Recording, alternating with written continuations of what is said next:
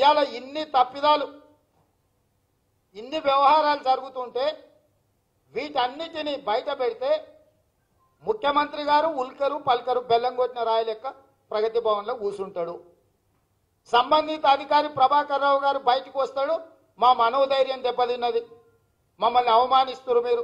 అంటే మీరు వేల కోట్లు దోపిడీ చేస్తే మేమేం అనొద్దా? మీ అసమర్థతను మేము ప్రశ్నించొద్దా?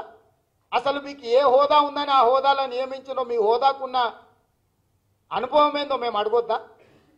గతంలోనే రాష్ట్ర ప్రభుత్వంలో జీవోలు ఉన్నాయి. రిటైర్ అయిపోయిన అధికారులను రెగ్యులర్ పోస్టులలో పెట్టకూడదని నియమ నిబంధనలు ఉన్నాయి.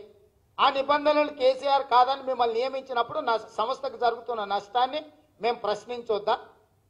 నీ సంతకాల వల్ల కేసీఆర్ గారు వేల కోట్ల రూపాయల అవినీతికి పాల్పడుతుంటే మేము అడగొద్దా తెలంగాణ ప్రజల తరఫున?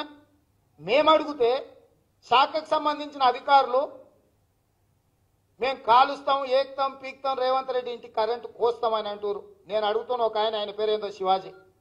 శివాజీ గారు ఒక్క మంచి మాట చెప్తాను. నీ హోదా డిఈ కాళేశ్వరం లిఫ్టులని బాధ్యత.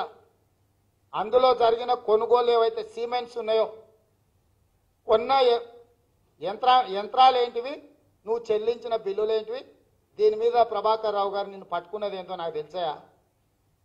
నేను ఇప్పుడు మీ జోలికి రాదలుచుకోలేదు శివాజీ. గుర్తుపెట్టుకో మళ్ళీ వస్తా నీ దగ్గర. రమేష్ కుమార్ నువ్వు గచ్చిబౌలిలో చేస్తున్న ఉద్యోగం నాకు తెలుసు అక్కడ జరిగిన తతంగం నాకు తెలుసు. దాని మీద విచారణను అడ్డం పెట్టుకొని ప్రభాకర్ రావు గారిని మీద ఒత్తిడి చేసి నిన్న ర్యాలీలో పాల్గొనడానికి ఏ రకమైన ఒత్తిడి చేసిండో కూడా నాకు తెలుసు. ఇక మీరు ఇద్దరు ఇది గుర్తుపెట్టుకోరు. నా ఇప్పుడు నా ఆలోచన కానీ నా పరిధి కానీ నా చర్చ కానీ మీరు కాదు. మీరు ఇంకా ముందుకు వెళ్ళదలుచుకుంటే వెళ్ళండి మాకేం అభ్యంతరం లేదు. డెబ్బై వేల మందిలో డెబ్బై మంది కూడా ప్రభుత్వం తరఫున ప్రభాకరరావు తరఫున లేరు నాకు తెలుసు. ఎవరెవరిని ఎట్లా ఫోన్లలో బెదిరించి నిన్న ర్యాలీకి రప్పించుకున్నారో నాకు తెలుసు. ఎంతమంది మళ్ళీ నాకు వెనక్కి తిరిగి విధిలేని పరిస్థితి సార్ అర్థం చేసుకోండి అని ఎంతమంది నాకు చెప్తారో కూడా నాకు తెలుసు నా దగ్గర వివరాలు ఉన్నాయి. శివాజీ కథ తెలుసు రమేష్ కథ తెలుసు. కానీ అవి చాలా చిన్న పిచ్చుకలు. వాటి జోలికి వెళ్ళదలుచుకోలే ఇప్పుడు. ఇప్పుడు ఏదైతే అనకొండ ఉన్నదో అనకొండ గురించే మాట్లాడుతున్నా.